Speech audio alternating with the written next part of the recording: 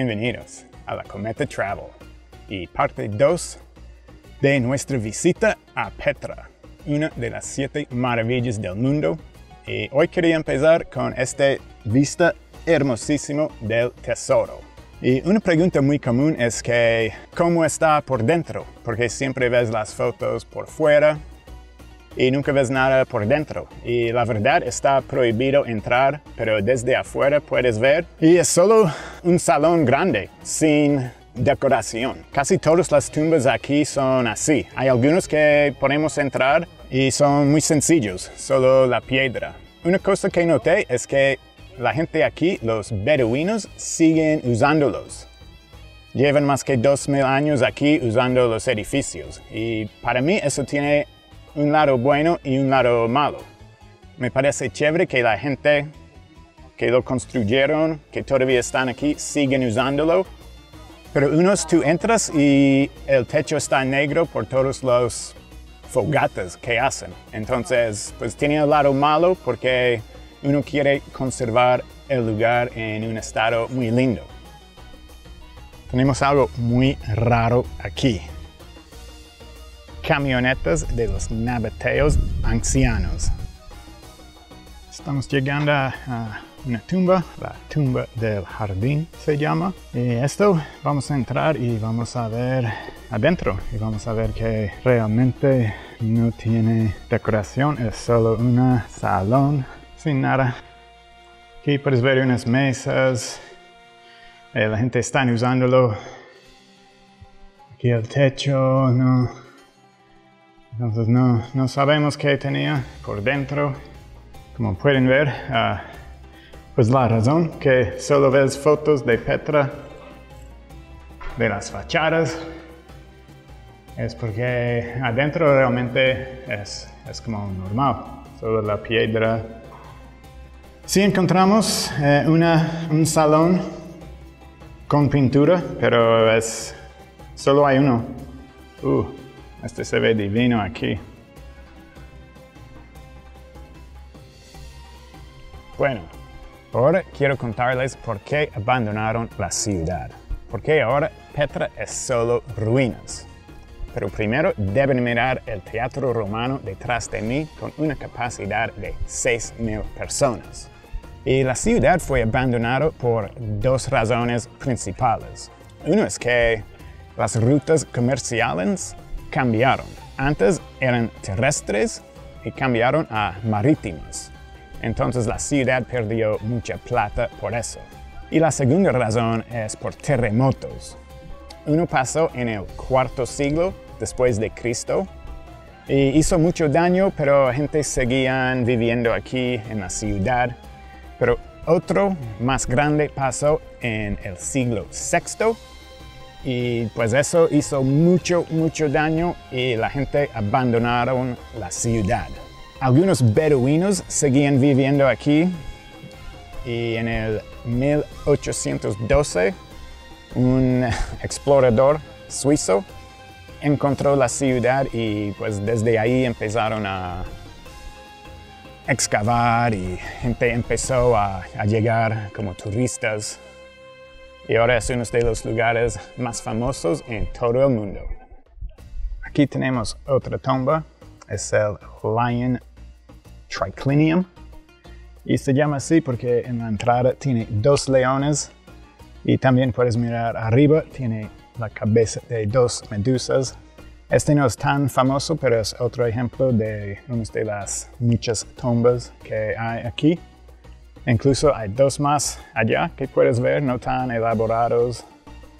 E incluso hay una tercera allá.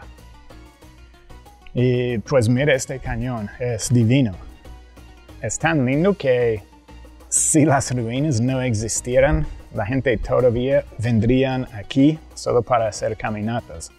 Pero cuando agregas las ruinas es como uno de los lugares más lindos en todo el planeta. Es realmente increíble. Especialmente porque los nabateos que lo construyeron, ellos no son conocidos, no es como, ah, los romanos o los griegos o los egipcios. Entonces, para una gente casi desconocido para construir algo así en estos cañones. Es realmente espectacular. Y pues yo creo que todo el mundo tiene que venir aquí. eh, porque es pues más lindo no podría ser. Ahora estamos en el lugar elevado del sacrificio. Y es un mirador divino. Puedes ver unas tumbas en el valle, puedes ver las montañas y puedes ver pues el desierto.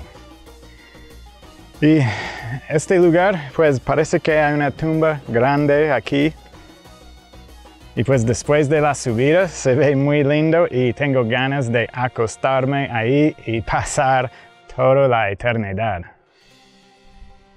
Ya estamos al final de parte 2 de nuestra visita a esta maravilla del mundo, Petra. Pero antes de despedirme, yo quería darles unos consejos si deciden venir aquí. El primero es que realmente no necesitas un guía, porque la verdad es que no saben mucho de la historia de este lugar.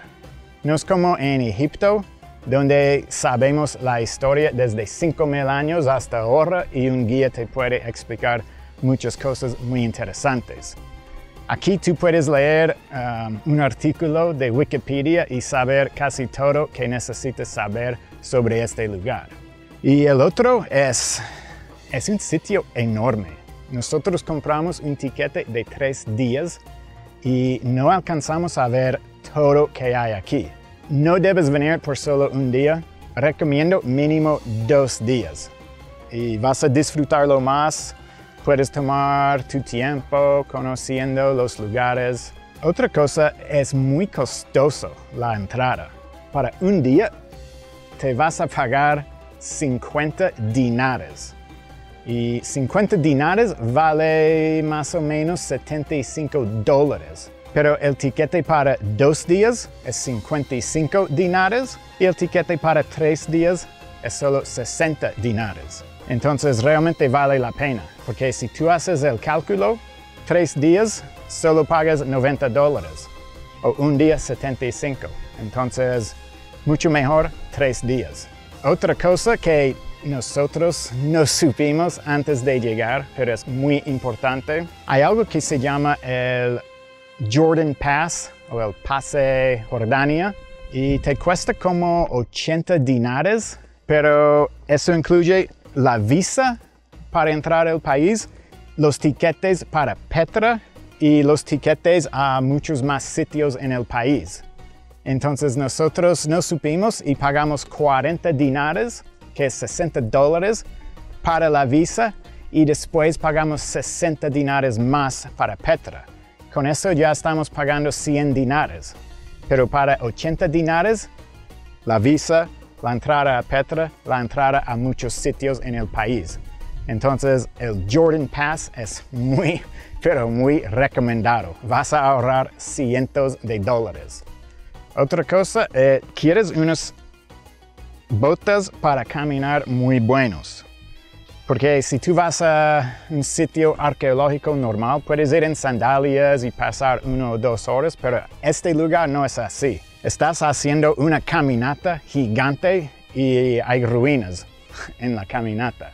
Entonces realmente necesitas algo muy bueno para caminar. Porque yo he visto turistas en sandalias o en zapatos normales y no se ven muy cómodos. Entonces, algo así. Bueno, ya, ya me voy a despedir. La verdad estoy muy cansado, tengo ampollas en mis pies, porque en serio, nosotros en los tres días aquí pasamos por lo mínimo 30 horas adentro del sitio explorándolo.